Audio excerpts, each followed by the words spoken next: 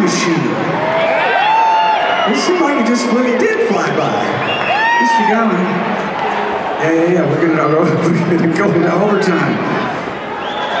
I, I know you got, that is a magical swirling machine you have over there. Certainly, look, man, look at it. It just lit up.